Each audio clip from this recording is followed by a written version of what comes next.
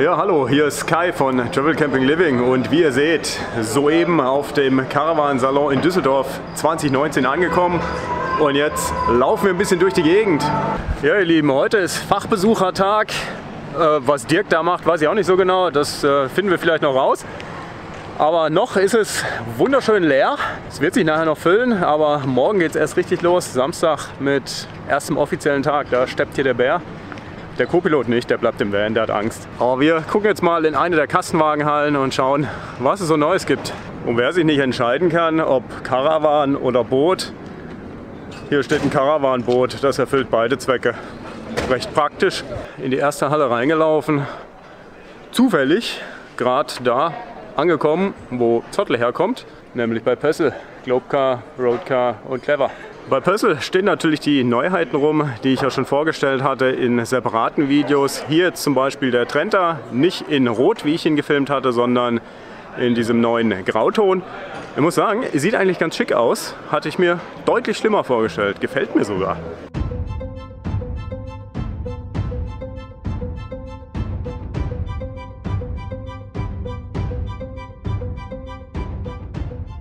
Ebenfalls steht hier der Summit 600 Prime Room, auch schon gefilmt. Deswegen nur ein ganz kurzer Blick rein. Kühlschrank immer noch an der Seite. Und in das Design, das ich ja schon im Detail vorgestellt hatte. Das Fahrzeug hier mit grau getönten Sitzen. Und auch ansonsten gibt es eine riesen Auswahl an Fahrzeugen. Auch der Summit 540 Prime steht hier rum. Das Neue bei allen Prime-Fahrzeugen, Kühlschrank im Eingangsbereich. Und innen drin richtig schick gemacht. Das schöne umfasste Dachfenster und auch das Seitenfenster schick. Da kommt Pössl in einen ganz anderen Designbereich im Vergleich zu den Vorgängermodellen. Auch die Vario-Fahrzeuge natürlich mit am Stand und der obligatorische Baum ebenfalls. Den Summit 45, der ja neu ist, den gibt es nicht nur als Prime, sondern natürlich auch als normales Modell. Auch in Rot macht er keine schlechte Figur, hat den Kühlschrank hier an der Seite, aber ist von innen natürlich nicht ganz so schick oder sagen wir einfach anders als der Prime.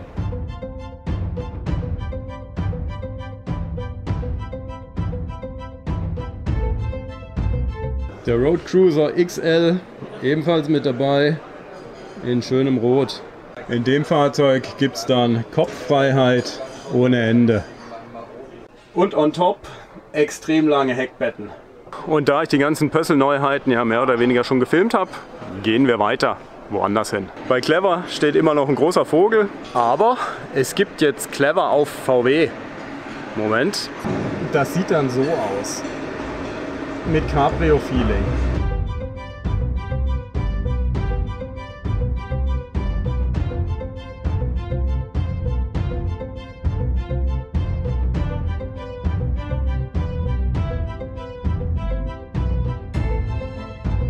Bisschen weiter gelaufen, komme ich an einem Phantom vorbei auf VW.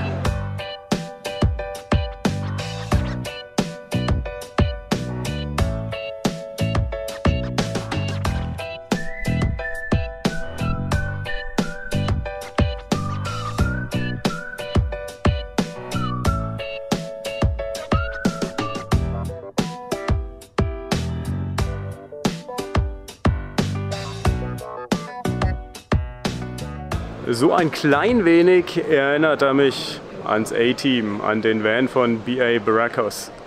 Neulich erst noch in Slowenien, jetzt hier auf der Messe mega mobil. Die haben natürlich die zwei Fahrzeuge mit dabei, die ich schon gefilmt habe. Zum einen steht hier der Mega Vario rum, 680 auf VW Crafter, der hier 60 plus kostet.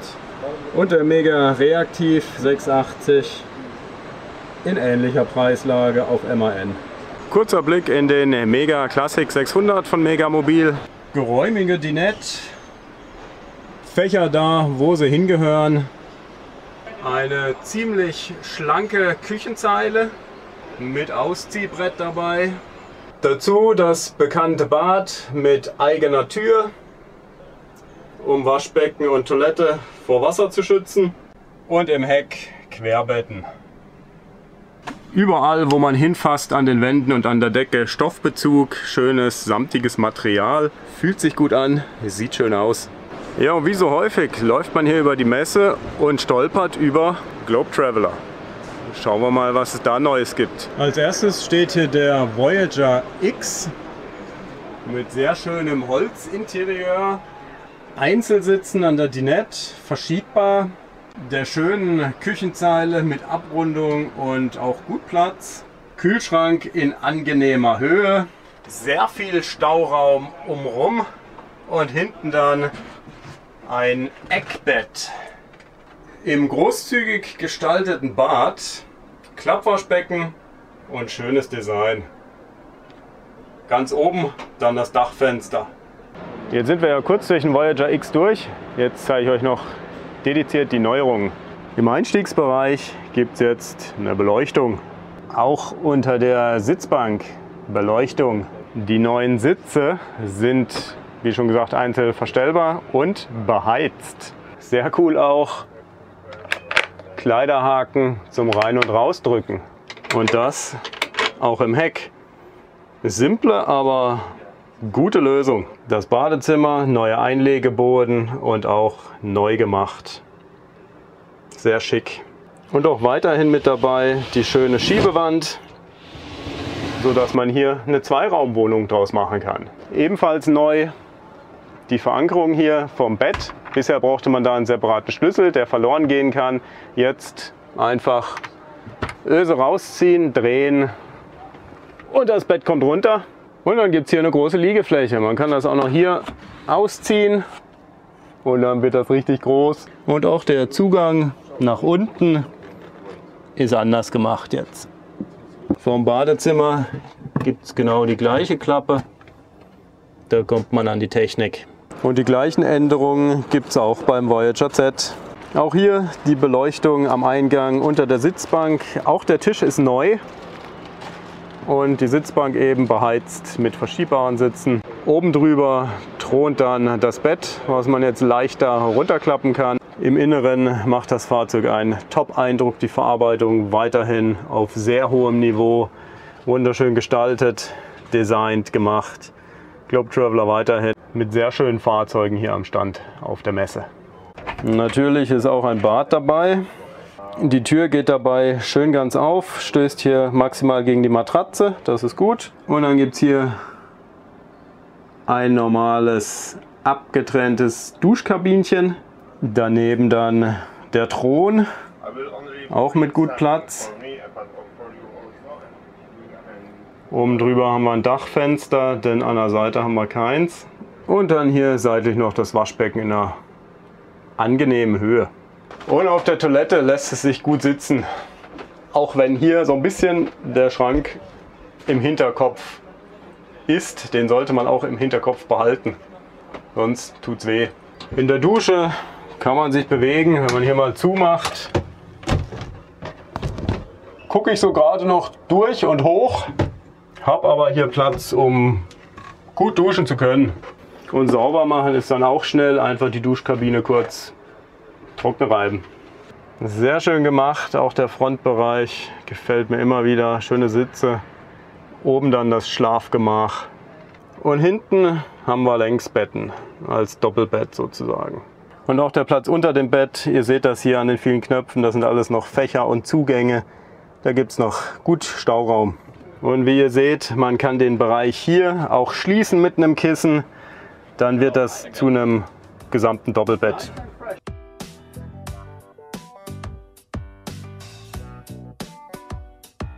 Auch von draußen noch schön Stauraum mit Zugang, sehr einfach.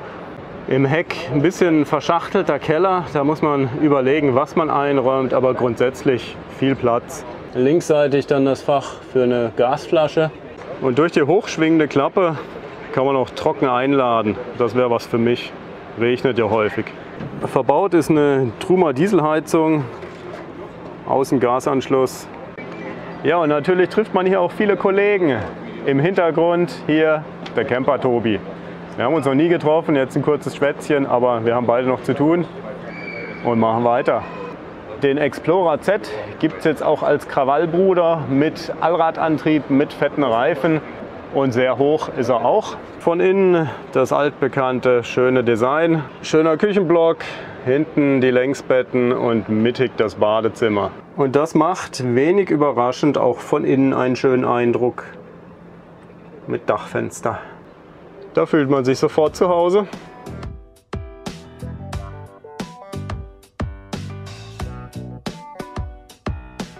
Nach Globe Traveler stehe ich jetzt bei Dreamer.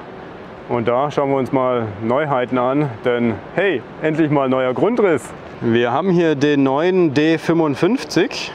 Der steht hier als 6 Meter Fahrzeug mit 3,3 Tonnen. Von außen sieht man ihm jetzt nicht viel Besonderheiten an, außer vorne raus das große Dach, auch hier also jetzt am Start. Ja, ich bin hier noch ein bisschen bei Dreamer auf dem Stand unterwegs und jetzt steht hier der Campervan XL noch rum.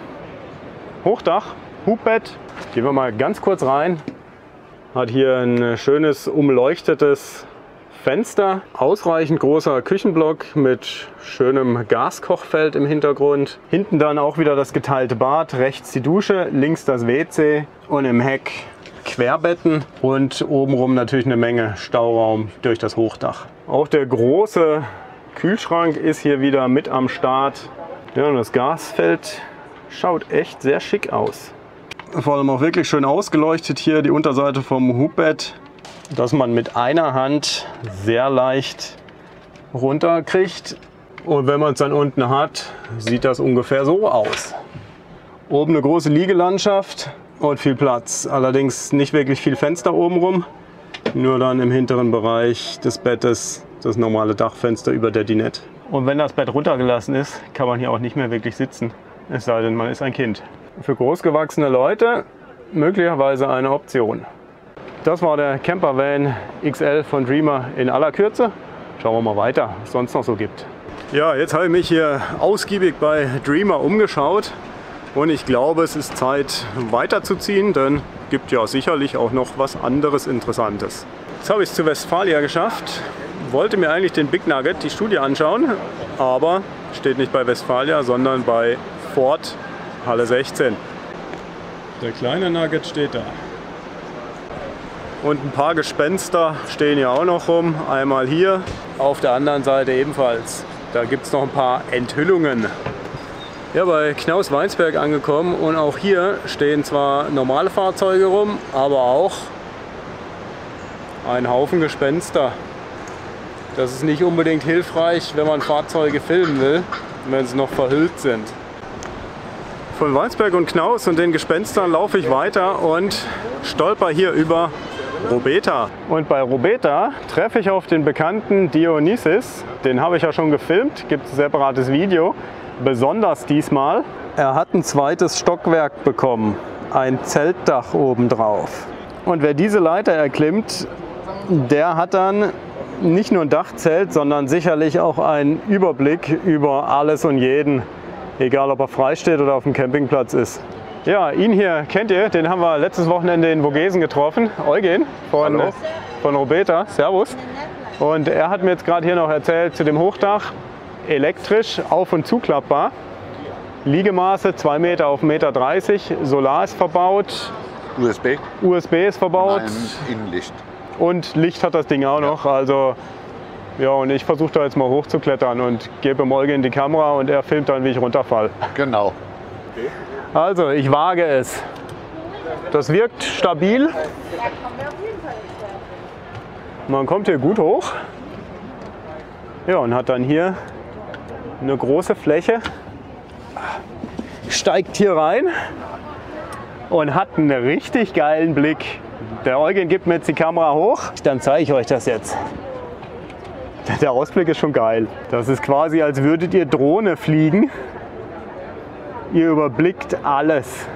In so einem Zelt wird es ja gerne mal ein bisschen wärmer, deswegen an allen Seiten Öffnungen. Ich habe jetzt hier diese mal aufgemacht, auch mit Fliegengitter. Man wird also nicht gefressen, wenn man lüftet. Hinter mir die gleiche Konstellation und rechts auch. Und das macht mal einen richtig coolen Eindruck hier oben. Echt geil. Mit zwei Meter Liegefläche.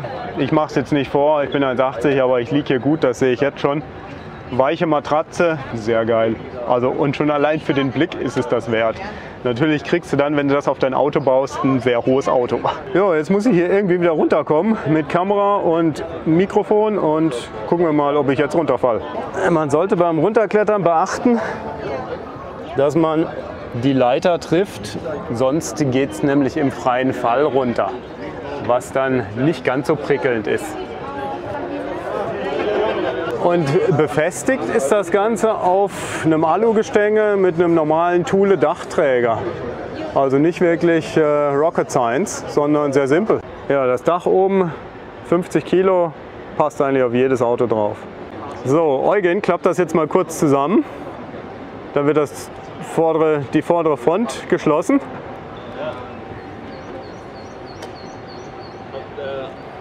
Und dann seht ihr jetzt schon von der linken Seite klappt sich das elektrisch rein. Das dauert jetzt ein Momentchen. Ich lasse das mal im, Schna Zeitraffer ablaufen. Aber als Camper ist man ja nicht auf der Flucht. Also die Zeit hat man. Und dann klappt sich das von der linken Seite ein und dann Dach drauf. Gut ist. Und alles über Fernbedienung, nichts manuelles. Schön übersichtlich sind hier auch die verschiedenen Farben und Ausstattungsvarianten angebracht. Man kann da relativ gut viel miteinander mischen. Ja, bei Robeta haben wir uns jetzt schön umgeschaut, Dachzelt geguckt und den Helios angeguckt. Und jetzt laufen wir noch weiter. Mal sehen, was uns sonst noch so über den Weg rollt und läuft und steht. Ja, da schau an. Auch Malibu ist logischerweise mit dabei auf dem Stand angekommen. Ganz schön umtriebig schon für einen Fachbesuchertag. Und hier finde ich eigentlich auch schon das Objekt der Begierde. Charming Coupé 640 LE. Da musst du auch dreimal hingucken, dass du den Namen merken kannst. Aber ich glaube, den gucke ich mir mal kurz an. Ja, von außen fällt er schon mal auf. Der hat kein Panoramadach oder wie auch immer das heißt vorne raus, sondern wir gehen da mal jetzt so ein bisschen drauf zu und rein. Der hat vorne einfach kein Fach, dafür hoch entlang gezogene Fächer und mehr Deckenfreiheit. Somit haben wir jetzt hier keine reinbrennende Sonne, aber dafür auch viel Platz vorne über dem Kopf im Cockpit. Ja, und so sieht das dann aus. Man hat hier wirklich massiv viel Platz, sehr angenehm. Keine Sonne, die reinbretzelt. Dafür aber halt auch hier nicht das schöne große Fach, das für mich persönlich sehr wichtig ist, das ich nicht vermissen wollte. Man muss halt sich entscheiden, was man will der Kompromiss wieder mal. Ja, machen wir noch einen kurzen Schwenk durch das Fahrzeug. Sieht aufgeräumt, schön aus. Materialien braun-weiß-grau gehalten. Badezimmer mit Schiebetoilette, Eckwaschbecken und Spiegelschrank oben drüber. Im Heck lange Betten und viel Stauraum. Rückenfreundlich angebrachter Kühlschrank. Die Küche ja, sollte nicht kürzer sein, als es so ist. Was mir wiederum sehr gut gefällt, ist das Brett hier ebenerdig. So geht das, liebe andere Hersteller. Und dazu ist das Ganze auch noch saustabil. Und im Keller gibt es noch eine Unterteilung, die man ganz leicht rausnehmen kann. Die ist nämlich nur gelegt, aber gut arretiert, sodass man das vordere wie auch das hintere Brett sehr schnell rauskriegt, wenn man es nicht braucht. Ansonsten praktisch, braucht man nicht bauen, wenn man nicht will. Auch die Gasflaschen leicht zugänglich von hinten, ohne dass man den Keller ausräumen muss. Das war der Kurzdurchgang durch den Coupé, das neue Modell. Jetzt gehen wir mal weiter. Und jetzt gehe ich mal schauen, ob ich Ford finde, denn da gibt es noch was vom Nugget. Ja, da schau an, wir haben Ford gefunden, Halle 16. Und wo ist jetzt der Big Nugget? Seht ihr ihn? Ich nicht. Ja, einmal über den Stand gelaufen und dann drüber gestolpert. Auf Ford Transit steht hier der Big Nugget. Und ziemlich gut was los. Kannst du Nummer ziehen. Ja, ich habe mich vom Ford wegbewegt, sitze jetzt hier mit einer komischen Maske auf. Ich hatte keine Schlägerei und brauche jetzt eine Kühlmaske, sondern ich sitze bei der Erwin Hümer Group jetzt. Mal was anderes. Und hier erfahre ich jetzt gleich ein bisschen was über 3D Experience. Was genau? Genau, es gibt einen Sprung in die Zukunft. Wir haben eine VR-Welt erschaffen, wo man autonomes Fahren kennenlernen kann und erfahren kann. Und das haben wir jetzt hier in 3D-Brillen umgesetzt. Man kann in diesem schönen Kuppelbau dann jetzt gleich einmal die Zukunft sehen. Das wird cool. Und ich sehe das und erlebe das und Kollege hier filmt.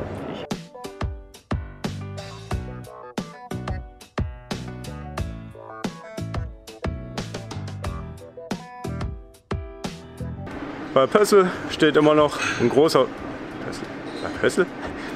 Bei Clever steht immer noch ein großer Vogel und oben dann das Schlag, Schlafgemach. Oben dann das Schlafgemach